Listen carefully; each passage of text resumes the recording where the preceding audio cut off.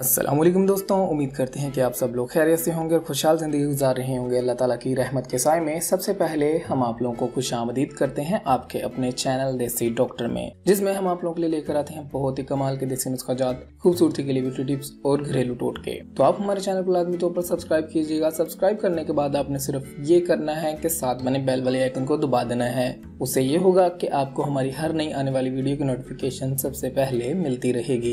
एक मरतबा फिर आपकी खिदमत में हाजिर हुए बहुत ही कमाल की जानकारी लेकर आज की इस वीडियो में हम आपको बताने जा रहे हैं चंद ऐसे टोटके जिनको इस्तेमाल करके आप खारिश से निजात पा सकते हैं। जी हाँ दोस्तों, जैसा कि हम सब जानते हैं खारिश एक ऐसा मसला है, जब इंसान को हो जाती है तो उससे बहुत ज़्यादा शर्मिंदगी का सामना करना पड़ता है। यानी कि अगर आप किसी के सामने बैठे हो तो आप खारिश नहीं कर सकते, जिसकी वजह से आप कुछ शर्मिंदगी का सामना करना पड़ सकता है। तो आप चाहते हैं कि आप ऐसी शर्मिंदगी से बचें और आप इस एलर्जी से बचें तो आप हमारे बताए हुए तरीकों पर अमल कर सकते हैं। सबसे पहले हमारे पास स्याह मिर्च लेकर उसको गाय के दूध में मिलाकर आपने इसे पीना है या ऐसा करने से आपको खारिश खत्म हो जाएगी। यानी कि अगर किसी बंदे को खारिश हो तो वो स्याह मिर्च को, यानी कि काली मिर्च को पीस कर इसका पाउडर जो है उसको दूध में मिलाकर अगर इस्तेमाल करे तो खारिश खत्म हो सकती है। दूसरे नंबर पर अजवाइन पीस कर खारिश वाली जगह पर लगाने से चंद दिनों में खारिश खत्म हो जाती है। उसके अलावा लहसन के तेल में लीमू का रस मिलाकर मालिश करने से भी खारिश खत्म हो जाती है और इससे आपको फ़ायदा होगा। अगर आप गेहूँ के आटे का लेप करेंगे तो इससे खारिश और आपके आग में जले जख्म भी ठीक हो सकते हैं। उसके अलावा अगर आप 100 ग्राम नारियल का तेल और 10 ग्राम काफूर का तेल मिलाकर